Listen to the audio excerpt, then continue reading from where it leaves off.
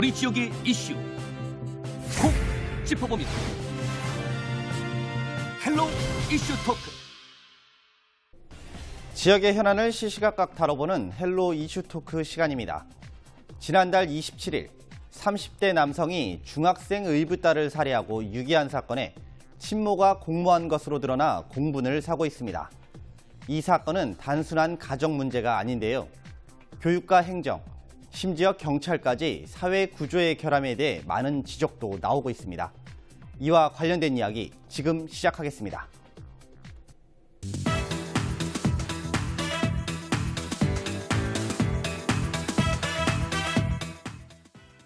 네, 사실 좀 마음이 무겁습니다. 일단은 뭐 이번 사건이 일어난 것들에 대해서 국민들이 많은 공분을 좀 사고 있는데 일단 사건이 전반적으로 어떻게 진행이 됐던 건지 좀 일단 짚어봐야 될 것 같은데요. 일단 설명을 좀 해주시죠. 네, 정말 안타까운 사건이라 입에 올리기도 그렇습니다만은 이제 어, 광주에 거주하는 계부가 의붓딸인 중학교 1학년 여학생을 목포에 학교 다니고 있는 학생이에요. 살해한 사건인데요. 이제 그 내막을 들여다 보면 그 의붓딸이 아 의붓 아버지가 지속적으로 의붓딸에 대한 성추행을 했나 봐요. 뭐 자신의 어떤 신체 부위를 사진으로 찍어서 어, 자기 의붓딸에게 전달 전송하고 또 의붓딸의 그런 신체 부위를 찍어서 요구하는 등 이런 자전 성추행 그리고 성폭력까지 시도했다고 그랬습니다. 그래서 어, 이 의붓딸이 다시 목포에 있는 친부로 친부에게 이제 왔는데 그 친부가 이 사실을 알게 됐어요. 그래서 경찰에 신고를 했습니다.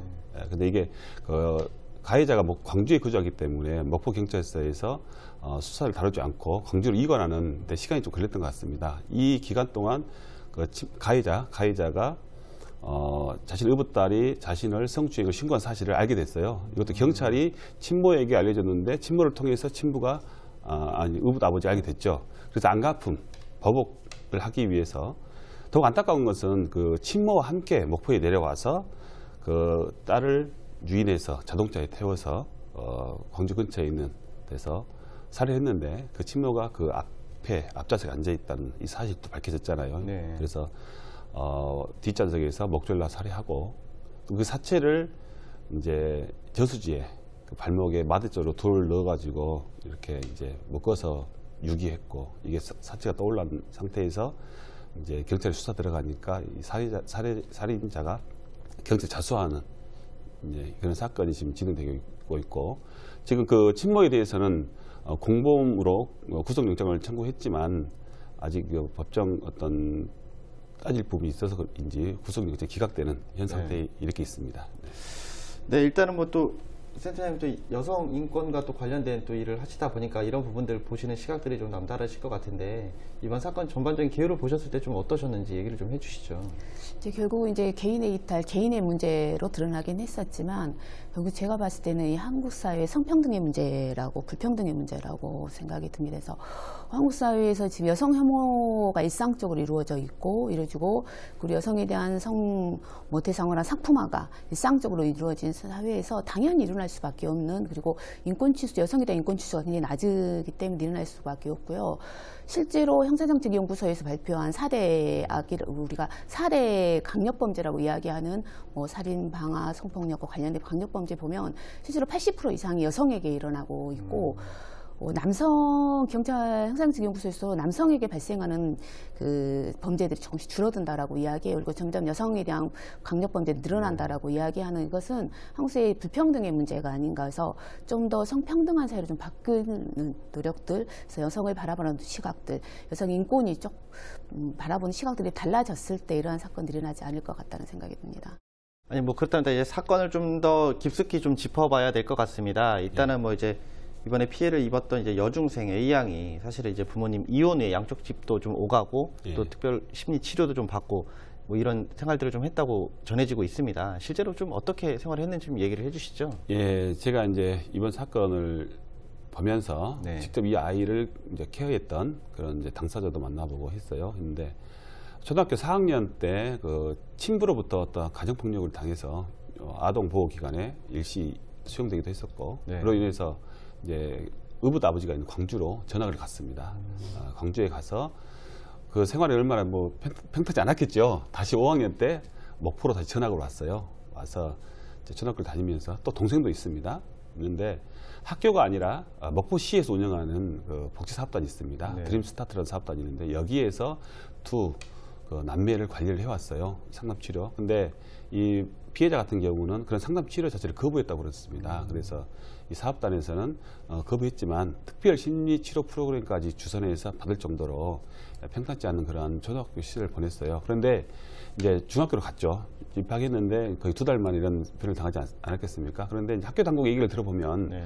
이 학생이 정말로 밝았다. 중학교 생활에서 결석도 한 번도 없었고, 음? 친구들 간에 다툼도 없었고, 그래서 전혀 학교에서는 몰랐다 이런 얘기를 해요. 근데 과연 이 학생의 학교 생활이 정말로 밝아서 밝았는지 아니면 이 학생이 의도적으로 자신의 어떤 그 가정 환경을 저, 티내지 않기 위해서 오히려 그런 밝은 성격을 했는지는 정말 알 수는 없습니다. 그 얘기를 들으니까 더욱 안타깝잖아요. 어떻게 보면 정말로 어, 어린 아이의 마음이 어땠을까 생각해 보니까 정말 지금 생각도 안타깝습니다. 예. 아, 좀 솔직히 지금 계속 얘기를 하면서 좀 마음이 점점 무거워지는데요. 그렇다면 좀 이 가정의 가장 큰 문제점은 뭐라고 좀 생각을 하시나요? 어, 피해자가 제가 봤을 때는 이제 우리 아버지로부터 성폭 피해가 있었잖아요. 있었는데 이 아이는 어느 곳에서도 안전하게 보호할 수 없었다라는 것이죠. 아까 이제 말씀하신 것처럼 초등학교 4학년 때 아버지가 친부위한 가정폭력으로 실제로 금지 그 법원에서 적응금지 명령까지 내려졌었고요. 그런 상태에서 친모에게 갔었는데 이 친모에게 갔었을 때도 우부자 아버지와 친모로부터 어, 성적 학대 그리고 실제로는 신적 폭력도 있었고요. 방임 같이 그리고 어머니로부터의 방관 있으면서 이런 성폭력 상태들이 계속 발생을 해서 어느, 이 아이가 어느 곳에서도 안전하게 있을 수 없는 가정, 그러니까 마음 편하게 있을 수 없는 것들이 굉장히 문제였고 또 하나는 이 아이를 그러면 사회에서도 과연 이 아이를 보호해줄 수 있었는가라고 했었을 때 사회적 시스템 속에서도 이 아이를 보호해줄 수 없었다라는 그 안타까움이 있었던 것 같습니다. 그래서 어, 우리가 이제 가정 한 가정의 문제로 자꾸 접근하는데 이 가정의 문제보다는 이 사회구조 구성 가정이라는 것은 끊임없이 문제를 발생해내는 것들이잖아요. 그래서 그렇다면 이 끊임없이 발생해내는 문제들을 사회 안에서 어떻게 보호하고 안전하게 조치를 취할 것인가의 문제였는데 전혀 그러한 시스템들이 작동하지 않은 것에 대한 문제였던 것 같아요. 네. 아, 지금 뭐 이제 사회적인 결함에 대해서 사실은 좀 얘기를 좀 해주셨는데 그렇다면 이 경찰에 신고를 했잖아요. 근데 어떻게 보면 제대로 보호를 받지 못했다라고 좀 볼 수 있는데 말 그대로 이제 그 수사기관의 불찰이라고 좀 봐도 될까요? 어, 아까 이제 처음 말씀하시면서 이관의 이첩의 문제 말씀하셨는데 피해자가 보통 신고하는 곳에서 이제 이쪽에서 신고 접수를 받고 난 다음에 가해자가 있는 곳으로 이제 보통 이관을 시키고 그럼 한 일주일 정도 보통 걸린다라고 그래요. 그리고 또 여기서 서류가 또 가는, 가는 과정이 일주일 벌써 이 주 정도 시간이 전개되잖아요. 그래서 이건 굉장히 경찰들이 생각했을 때 피해자 중심의 사고가 아니라 가해자 중심의 피의자 중심의 사고를 하지 않았는가라는 생각이 들어요. 그래서 이러한 성폭력이라든가 아동학대, 가정폭력이 발생했었을 때는 사실은 피해자 중심, 그 피해자를 어떻게 보호하고 먼저 피해자 중심 생각하는 작동 생각들이 필요하고요. 또 하나는 경찰들은 매뉴얼대로 움직이기 때문에 매뉴얼에 문제 없다라고 이야기를 합니다. 그래서 사실 제가 갔을 봐도 경찰의 어떤 매뉴얼의 문제는 아니었다라고 보는데 문제는 우리가 항상 매뉴얼대로 움직이는 절차상 움직이는 것에 대한 문제라고 판단을 해요. 그래서 현장에서 여성과 관련된 인권과 사랑과 관련된 일을 한 사람들 같은 경우는 저는 인권의식이라는 것은 다른 사람들보다 굉장히 높아야 된다라고 생각을 합니다. 그랬을 때 어, 이들이 경찰 조사, 그 신고가 들어왔을 때 아버지가 신고를 하고 난 다음에 아이가 또다시 어, 성추행 이상의 폭력을 당했어요라고 실제로 그 다음 날 가서 증언을 했잖아요. 네. 그랬다라고 했을 때 어, 경찰들이 이것을 이관하고 이첩하는 이런 과정에 대한 매뉴얼대로 할 것이 아니라 과연 이 아이를 어떻게 보호하고 어, 어떻게 안전하게 조치할 것인가에 대한 그리고 또 하나는 충분히 접근의 개연성이 있었잖아요. 그 집에 살았었고 또 충분히 어, 가까운 친모와 가까운 친모하기 때문에 연락해서 만날 수 있는 개연성이 있다라는 판단 속에서 보호 조치를 해야 되지 않았습니다. 그래서 뭐 지역에서 실제로 성폭력 전문 상담소도 있고 하기 때문에 연계해서 상담을 받게 한다든가 그리고 보호받게 안전하게 조치를 취하는 방법들을 하지 않은 것에서 우리가 이런 사건들이 발생했을 때 가장 경찰들이 먼저 해야 될 일은 가해자 편의 중심이 아니라 어, 피해자 중심에 보통 그런 이야기를 현장에서 많이 합니다. 경찰에 신고하면 피해자는 사라져 버린다. 이런 게 이번에 나타난 게 바로 이 모습이 아니었나라는 생각이 들면서 좀 더 피해자 중심으로 생각하고 피해자를 어떻게 안전하게 보호 조치를 할 것인가에 중점을 주고 생각하는 점들이 필요하지 않을까 생각합니다. 네, 뭐 그렇다면 이 의원께서 좀 바라보시기에 말 그대로 전반적인 사회 전반에 대한 이 시스템 부재 좀 어떻게 바라보시나요? 근데 특히 이제 경찰 쪽 얘기를 해보면 직접적인 그 살해 동기가 그 자신을 신고한 것에 대한 안갚음이지 않습니까? 네. 예, 그런데 이걸 되짚어 보면 그 친부하고 우리 피해자가 경찰에 고발했을 때 경찰이 이 사실을 친모에게 알렸어요. 근데 이제 살해자는 친모를 통해서 자기 부인을 네. 통해서 이 사실을 알게 돼서 이렇게 살해를 하게 됐지 않습니까? 그렇죠. 그래서 이제 우선은 경찰에 어떤 신고 들어왔을 때 단순히 그 사건만 보, 그 사항만 보지 말고 전반적인 가족 사항이라든지 면밀하게 이렇게 이런 성폭행범 같은 경우는 친족에 의한 같은 네. 경우는 먼저 살핀 다음에 에, 그 다음 행동을 취하지, 취해야 되지 않을까 이런 점이 들고요. 그 다음에 보면은 이제 경찰에서 목포 경찰서에서 강제로 이관하는데 또 시간이 걸렸어요. 그 사이에 사건은 발생이 됐고요. 이런 점들 그리고 무엇보다 중요한 것은 경찰의 안일한 태도 같아요. 그러니까 어떤 사건이 물론 이제 많은 하루에도 많은 신고가 들어오겠죠. 오는데 특히 이제 친족 특히 이런 성폭행 같은 경우 굉장히 엄중한 범죄지 않습니까? 이런 부분에 대해서는 최악의 경우를 생각하고 행동해야 되는데 그렇지 않은 것 같습니다. 아, 그래서 친부에게 물어봤더니 친부가 어, 신변보호 조치를 물어봤더니 친부 괜찮다. 그랬다고 그래서 안 했다고 하지 않습니까? 그래서 경찰이 이런 상황 같은 경우는 좀 더 적극적으로 개입을 해야 되지 않을까 이런 생각을 해봅니다. 네, 뭐 이번 사건과 관련해서 또 지난 5월 3일 날 또 말 그대로 좀 그 저희 센터에서 추모제를 좀 진행을 하셨다고 얘기를 들었습니다. 좀 어떤 분위기에서 좀 진행이 됐나요? 일단 너무 안타까웠고요. 이제 급하게 저희가 진행되면서 어, 노래라든가 춤을 추시는 분들은 그걸 이제 물론 추모, 춤이나 노래로 추모를 하셨었고요. 그래서 거기서 이제 이야기됐던 것은 안타까움 그리고 저희가 추모제 준비하면서 작은 추모 공간도 같이 마련해서 지나가신 같이 추모하실 수 있도록 했었는데 어, 그러였던 것 같아요. 이상국 사회에서 나타나는 시스템의 문제들의 안전에 대한 문제, 안전 시스템의 문제를 다시 한번 좀 우리가 생각하는 계기가 되지 않았나라고 싶습니다. 그래서 뭐 분위 굉장히 마음이 무거운 음, 상태 그리고 또 하나는 어린 아이에게 에게 그리고 친족 간의 성폭력이 지금 발생하고 그것이 살해로까지 연결된 것에 대한 안타까움 그리고 이것을 우리 어른으로서 사회적 시스템 속에서 지켜주지 못한 것에 대한 미안함 그래서 그 미안함과 어, 그 안타까움 그리고 또 어쨌든 이 사회에서 다시는 이러한 일이 발생하지 않기를 바라는 마음으로 추모제가 진행되었던 것 같습니다. 뭐 지금 또 남아 있는 가족들도 사실은 좀 있으실 것 같아요. 뭐, 뭐 물론 이제 친부나 친모 또뭐 아버지도 마찬가지겠지만 또 다른 가족들도 분명히 있을 것 같은데 그 가족들의 좀 어떤가요? 지금 현재 상태가? 실제 저는 이제 직접 만나진 않았고 언론을 통해서만 지금 듣고 있는 상황인데 뭐 친부라든가 계부는 친모라든가 계부는 어쨌든 어, 법률적인 처벌을 받아야 되는 것이 맞다라고 생각이고요.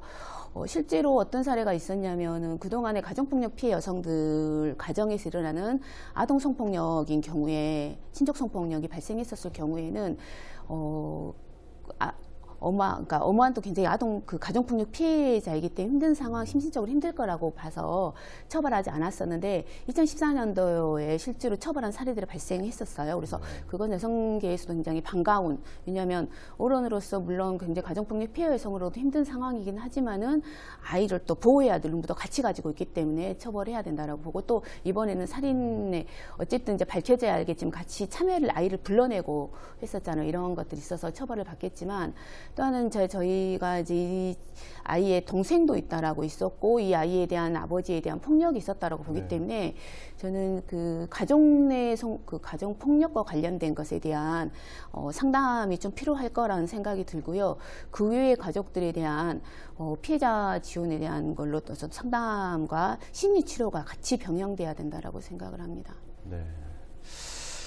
의원님 그렇다면 사실 뭐 이미 사건이 벌어졌고 또 이렇게 또 경찰 수사가 진행 중이지만 어쨌든 우리가 지금 또 찾아야 될 해법들이 분명히 있을 거라고 생각이 들거든요. 뭐 일단 교육적으로나 또 행정적으로 먼저 좀 풀어야 될 숙제들은 어떤 것들이 좀 있을까요? 네, 제가 이번 그 사건을 계기로 어, 교육 당국에서 너무 안일한 태도를 가지고 있다. 마치 이 사건이 한 가정의 비극으로 치부하거나 아니면 경찰의 어떤 안일한 대처 이지 우리 교육 당국에는 어떤 문제가 없다라는 인식을 바라본 것 같아서 제가 강력히 어, 제기 문제 제기를 했어요. 이건 우리 교육 행- 교육의 복지 시스템의 문제다.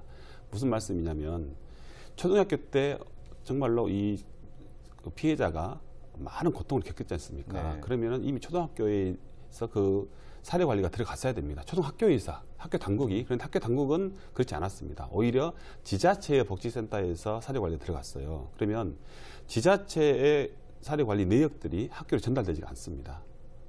어? 그리고 또 제가 주장했던 것은 초등학교 때 이러한 관리 대상, 사례 관리 대상 아이들의 이력, 이력을 중학교에 이관시켜서 중학교에서 신입생을 받았을 때 먼저 이 아이에 대한 정보가 있었다면은 좀 더 학교에 계시는 뭐 선- 담임 선생님이나 상담사나 아니면 요즘 교- 교육복지사분들이 계십니다. 이분들이 집중적으로 관리를 했을 것이고 관심을 가졌을 거예요. 네. 그러니까 이 학생이 중학교 올라와서 두 달 만에 이런 사, 사례를 당했어요. 근데 학교에서는 아무런 그 뭐야 영역 그 뭐 아무런 낌새를 못 챘다는 거죠. 이 학생이 얼마나 불안, 불안한 가정 환경을 가지고 있었는지조차. 그래서 제가 이제는 초- 하급 단계 학교에서 있었던 일들을 네. 모든 것들을 다 하면 개인정보법 위반이 되겠지만 특별한 케이스 때는 우리가 교육복지 시스템 차원에서는 상급 학교에 이관을 시켜야 된다라고 제기를 했어요. 그런데 우리 법률단에서는 교육청 법률단이 있습니다. 이게 개인정보법 위반의 여지가 있다. 또 이런 말을 해요. 그래서 이 해법을 우리가 찾아야 됩니다. 어, 찾아야 되고요.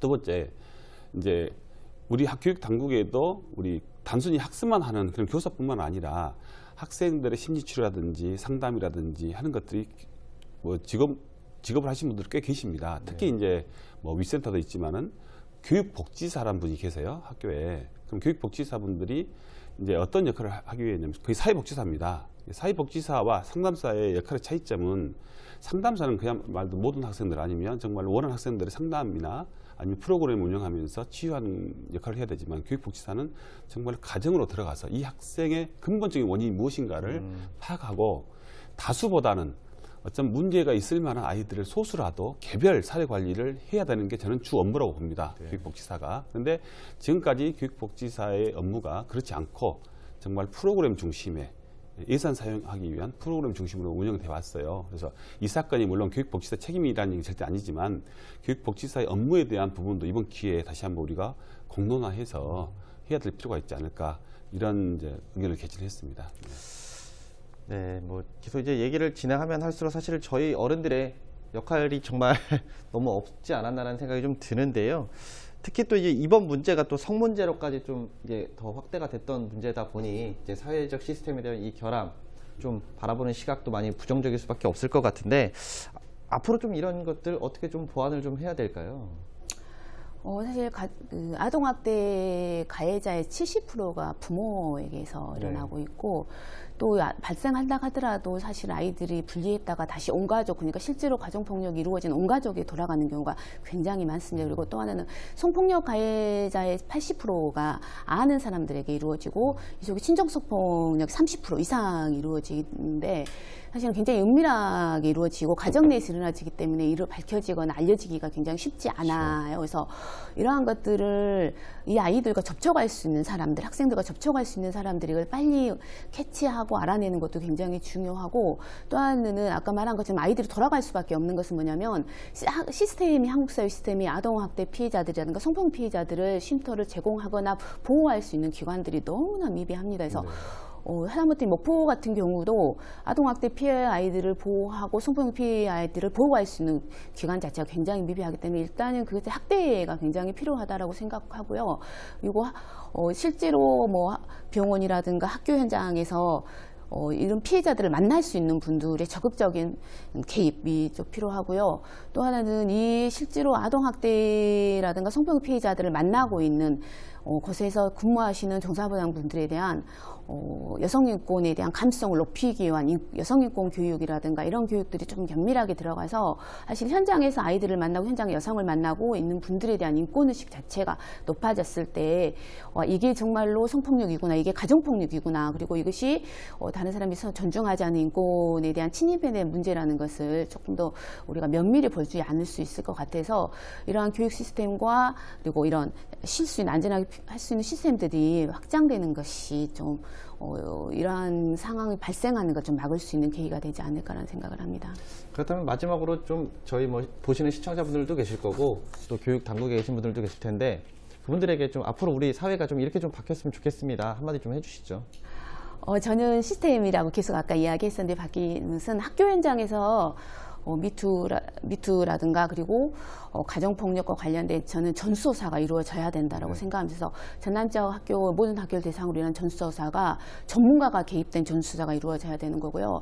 아까 교육복지사 말씀하셨는데 실제로 학교에 교육복지사가 되어 있는 학교가 그렇게 많지 않아요. 그래서 학교 사회복지사들이 실제로 학교에 들어가서 아이들을 사례 관리할 수 있도록 그리고 어, 문제가 발생한 가정에 대해 실제로 사례가 개입에 들어가서 다른 전문기관 연계하는 것들이 좀 필요하다라고 보고요.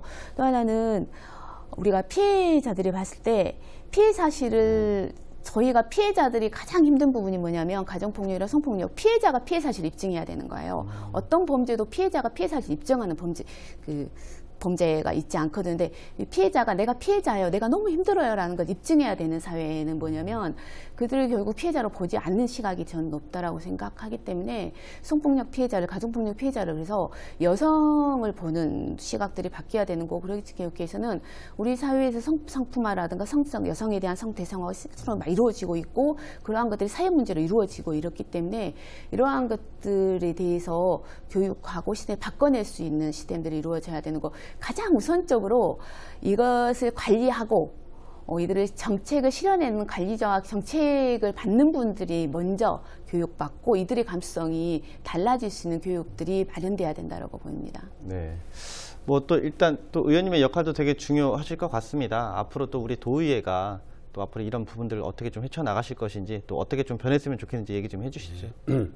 지금 우리 학교 당국이 할 수 있는 일은 그 동생입니다. 어, 동생이 지금 4학년에 재학 중에 있어요. 근데 뭐 성인들이야 뭐 감당낼 수 있겠지만은 이 동생은 얼마나 큰 충격, 충격을 받았겠습니까? 이, 근데 이 동생에 대한 보호 조치가 아직 들어가지 않았어요. 제가 이 부분에 대해서 강하게 질타를 한 겁니다. 교육 당국에. 해당 학교에서는 이 피해자 동생이 학교에 재학한 사실조차 모르고 있었어요. 이게 얼마나 한심한 내용입니까? 한 아이도 포기하지 않겠다고 매번 약속을 하지 않습니까? 근데 그런 약속이 헛고가 안 되기를 다시 한번 이번 사건을 계기로 우리 교육당국에 제가 주문을 하고요. 두 번째가 계속 우리 소장님께서도 시스템 문제를 말씀하셨지 않습니까? 그런데 이게 특히 이- 이번 사안처럼 정말 신중한 사안들은 개별 단위의 기관에서만 할 게 아니라 학교와 지자체와 또 경찰서와 또 민간 전문 기관과 서로 상호 유기적으로 소통할 수 있는 그러한 시스템을 만들어야 됩니다. 그렇지 않고서는 또 이런 사건이 계속 반복될 겁니다. 그래서 이번 사건을 계기로 해서 정말 우리가 그냥 지나가는 일이 아니라 어, 모두가 모여서 한번 이런 종합적인 시스템을 만들자고 제안합니다. 네. 네. 일단 뭐 우리 어른들의 잘못인 것 같습니다. 어른들이 먼저 움직이셔야 될 것 같고요. 이런 부분들은 또 우리 사회가 함께 대책도 마련을 하고 또 함께 공론화도 시켜야 될 부분인 것 같습니다. 오늘 이야기는 여기까지 진행하도록 하겠습니다. 오늘 말씀 감사합니다. 이번 사건을 보면서 우리 사회의 또 다른 모습을 볼 수 있었습니다. 보호조치 소홀과 인권 침해, 여전히 이들을 보호할 어떠한 장치도 제도도 마련되어 있지 않은 지금 교육당국은 물론 행정과 경찰, 우리 사회 전반에 대한 대책 마련이 필요해 보입니다. 지금까지 헬로 이슈토크